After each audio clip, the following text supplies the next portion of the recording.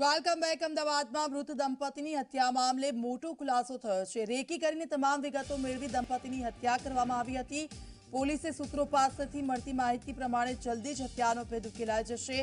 હત્યા અને લૂંટના આ કેસમાં પાંચ આરોપી ઓળખાયા છે. ક્રાઇમ બ્રાન્ચની ટીમ આ કેસના આરોપીઓને પકડવા સતત મહેનત કરી રહી છે.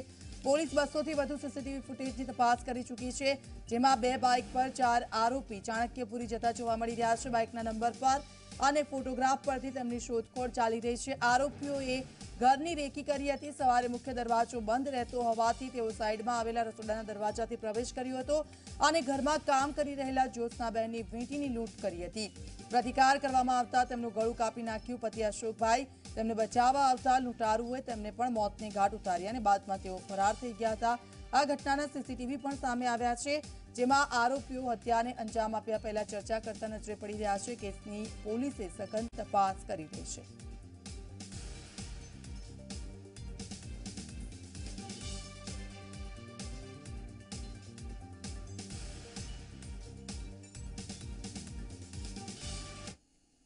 તો ડાકોરમાં ફાગણી પૂનમનો મેળો નહીં યોજાય. મેળો બંધ રાખવા જિલ્લા કલેક્ટરનો નિર્દેશ. સત્યાવીસ, અઠ્યાવીસ અને ઓગણત્રીસ માર્ચે બંધ રહેશે ડાકોર. આ વર્ષે ડાકોરનો મેળો નહીં યોજવાનો લેવાયો નિર્ણય.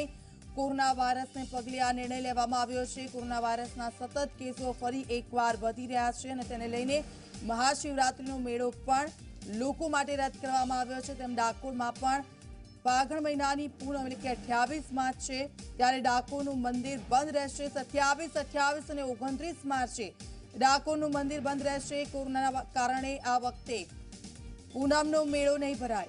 તો પદયાત્રિકોને ડાકોર ન આવવા માટે કલેક્ટરે નિર્દેશ કર્યો છે. ફાગણી પૂનમ અને લાખો ભક્તો ડાકોર પગપાળા જતા હોય છે, ત્યારે તેવા લોકોને પણ કલેક્ટરે આદેશ કર્યો છે. આ દરમિયાન ડાકોરનું જે મંદિર છે તે બંધ રહેશે. મેળો બંધ રાખવા જિલ્લા કલેક્ટર આઈ કે પટેલનો નિર્દેશ છે. અઠ્યાવીસ માર્ચે છે ફાગણ મહિનાની પૂનમ.